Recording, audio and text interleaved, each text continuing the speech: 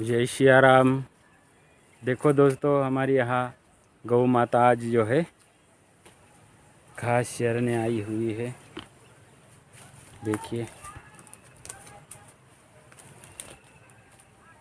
देखिए दोस्तों, आज जो है, आई हुई है घास चरने के लिए। देख लो, कितनी अच्छी जो है, घास चर रही है।